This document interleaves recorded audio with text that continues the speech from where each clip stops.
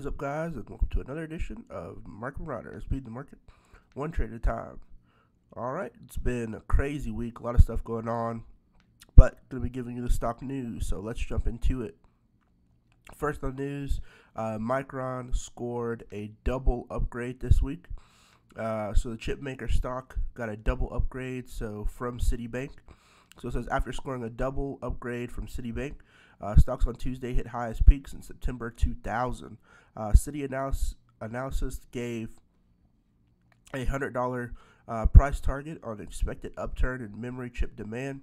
Uh, the stock closed Tuesday's trading at 77.26. Uh, so I think yeah, they're right on target uh, with that upgrade. In my opinion, there have been a lot of car manufacturers who have been stalled, like Nissan, um, for not having the necessary chips that they need uh, for manufacturing. So there's definitely a shortage uh, in chips in the market. Um, you know, manufacturing wise, I think um, that's going to help a company like Micron continue to grow, um, and you know, kind of justifies that increase of a double upgrade from Citi.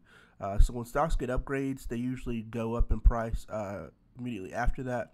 So like companies like uh, Tesla will get upgraded, and once they get upgrades, then you know they'll go up uh, in price as well. So a lot of things surrounding that. I'm definitely interested to see how it performs uh, moving forward.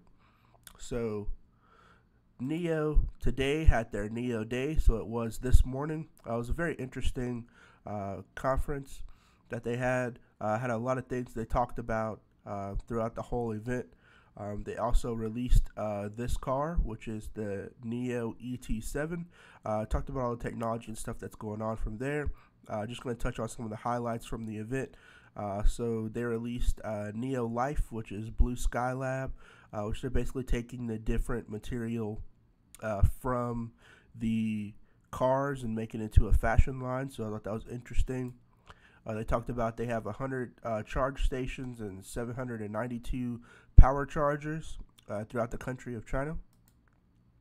And they talked about uh, their new car. So, um, also, they talked about uh, they had 312 daily swaps uh, capacity, which is an increase from the previous one um, in their new battery swap 2.0. So, they unveiled their battery swap 2.0 facility that they're going to be uh, rolling out in 2021 uh, with new capacity.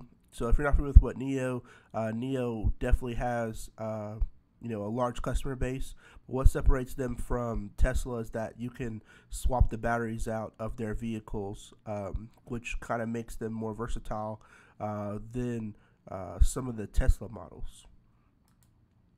They also talked about Bluepoint, which is an incentive uh, for carbon emission. So NIO gives you um, different governmental incentives uh, for going green and reducing your carbon footprint.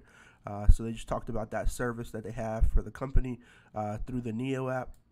And lastly, they talked about uh, their 150 kilowatt hour battery. So uh, they have a solid state battery that they're releasing that's going to be 150 kilowatt hours, which I think is fantastic. Um, and, you know, starting rollout of that, which will definitely help drive sales of the different cars as well as shed more light to the company in a whole.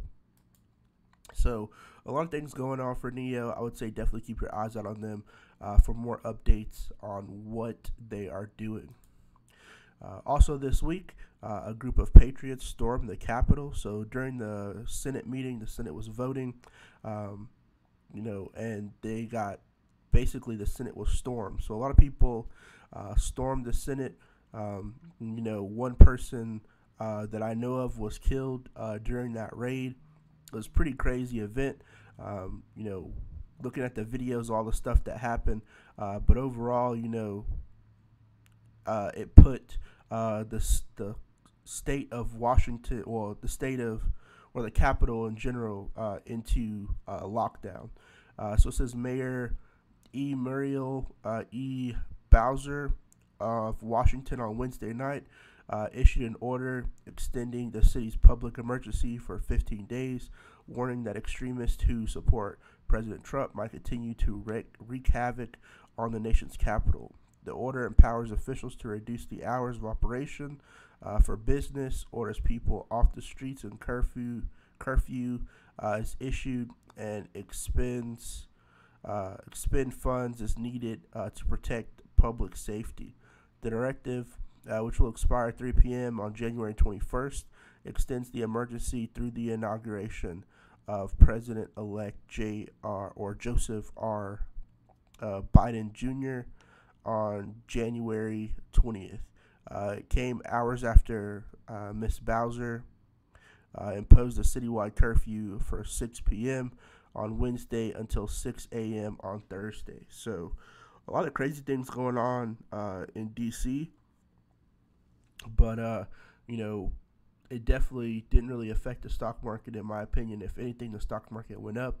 I know a lot of different uh, CEOs uh, talked about the craziness that was going on. I know the Boeing CEO released a statement uh, that I saw. I read on one of their press releases talking about what happened at the Capitol, um, and a lot of like big CEOs talked about uh, what was going on in the Capitol. So it was a very interesting turn of events uh, for this week, to say the least. Um, next, we have uh, Elon Musk became the richest person in the world, passing Jeff Bezos. Uh, so Elon Musk became the richest person in the world uh, with a net worth more than 185 billion dollars. Um, so Thursday's increase of Tesla's share price uh, pushed Musk past Jeff Bezos, uh, who had been the richest person since 2017 and is currently worth about 184 billion dollars.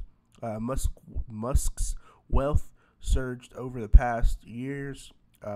Marks the fastest rise to the top of rich uh, list in history and marks a dramatic financial turnaround uh, for the famed entrepreneur. So I'd have to say um, Elon Musk, as far as fame is concerned, is a lot more famous than Jeff Bezos, in my opinion.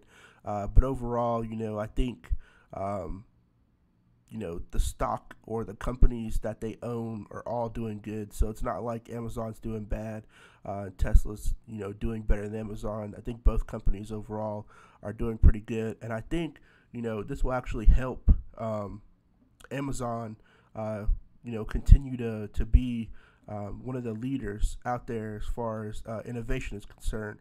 Um, when it comes to ceos in my opinion um, you know ceos don't really run the company. To me, they're just like the face of the company. The board of directors is what really runs the company, um, and both have really good board members um, on both ends on Amazon as well as on um, Tesla.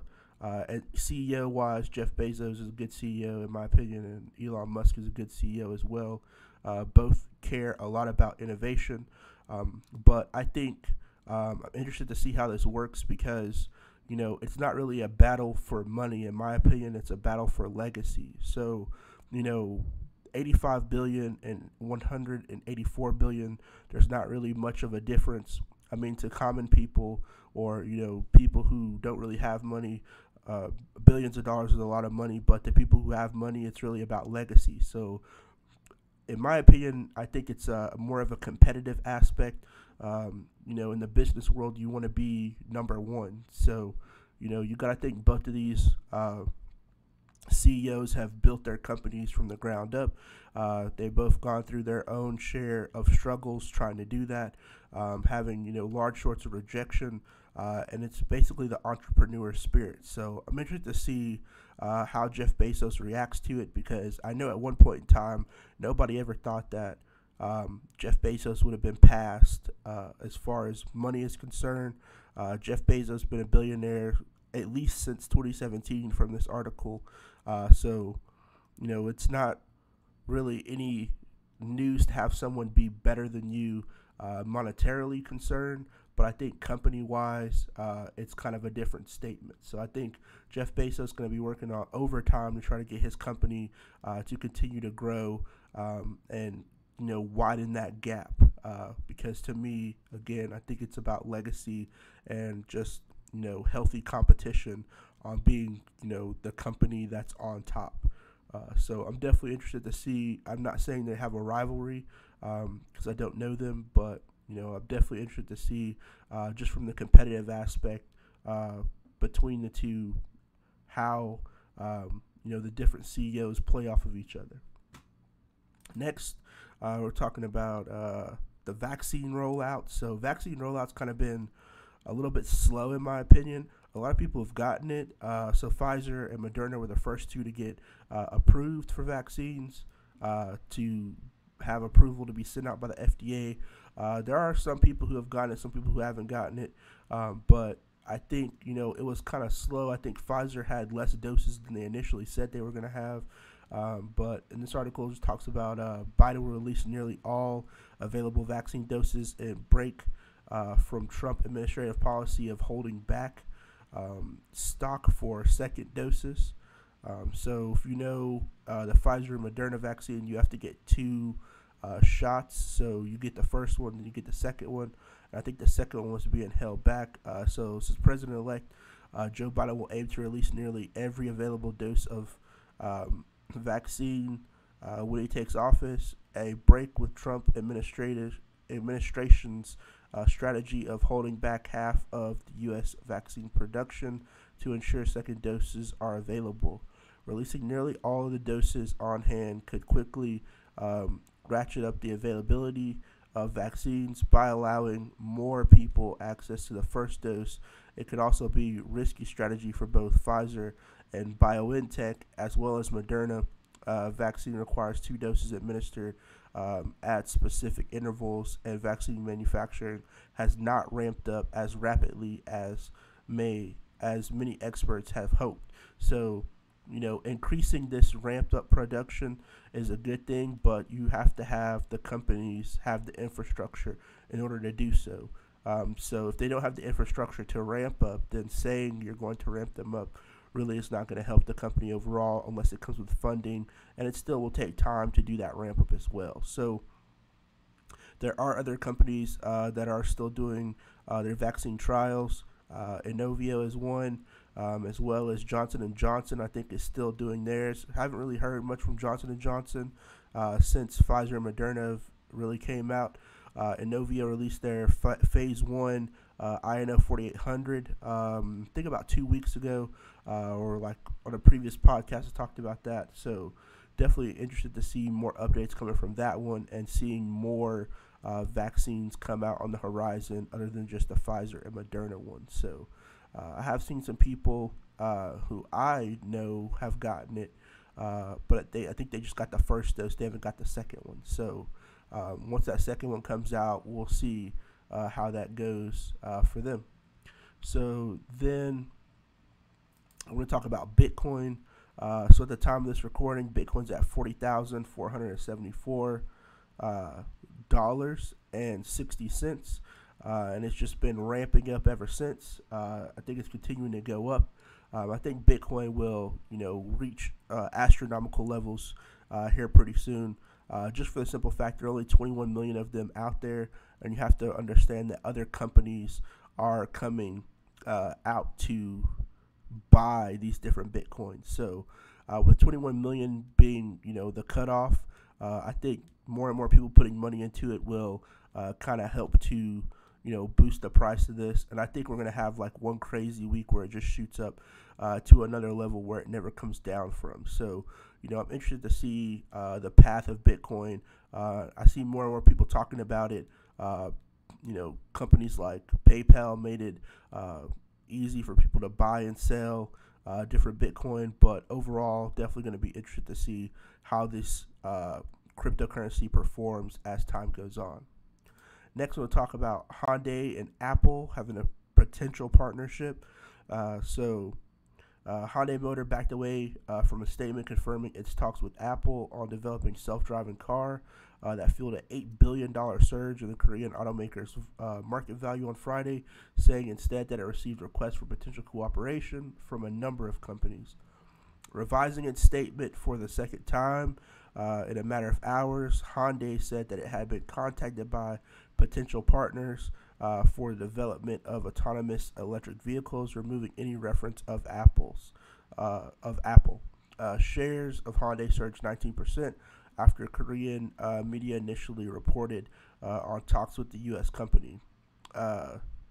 Naming Apple initially, Hyundai risked the era of technology giant known for secretiveness when it comes to new products and partnerships. So, yeah, I feel like that deal may have may have been on the works or on the table, and I feel like with Hyundai releasing that information, they may have, um, you know, voided an NDA, uh, you know, potential situation. So I think it may have been something that was true to begin with, and then um, you know Apple caught wind of it and was like, hey, you know, you guys can't say that, and it definitely hurts their chances um, in the long run with that. So NDAs are basically non-disclosure agreements, which means like, hey, I'm going to partner with you. I'm going to do you know X, Y, Z, but you can't tell anybody about it until you know a set date.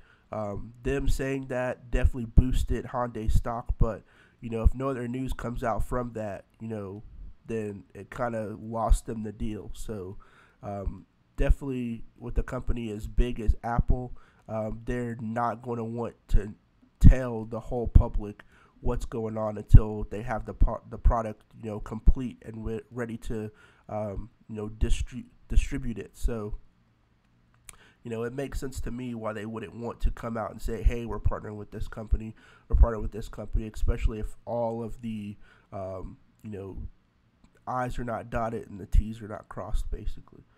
Uh, so, you know, in other news, talk about Tesla. Uh, Tesla, Elon Musk recently announced that there's going to be a $25,000 Model Y variation that's going to come out uh, in 2022. So I'm definitely excited uh, for that to come out. Uh, going to be looking to see when that actually rolls out. Um, and $25,000 uh, Tesla is definitely going to be a game changer. So uh, with NIO and their solid state batteries, that was a game changer. But as far as having a $25,000 electric vehicle, that's going to be a huge game changer for the entire market. Um, I think the cheapest um, Tesla you can get now with full self driving, I think is it runs you around uh, 50, 50 grand. So, you know, it's not really affordable for most people. Um, you know, definitely, uh, you know, and kind of still in the luxury category, in my opinion. Uh, most people buy cars $25,000 or, or under, uh, or, you know, trying to get something a little more affordable. Um, but looking at the rendering, uh, it looked like it's going to be a pro- possible two seater car. Um, so definitely be interested for some updates on that. Well, that's the stock news for this week. Um, hope everybody is having a great week or had a great week. Uh, and good luck to everybody out there trading for next week. And I'll see you guys next time. Peace.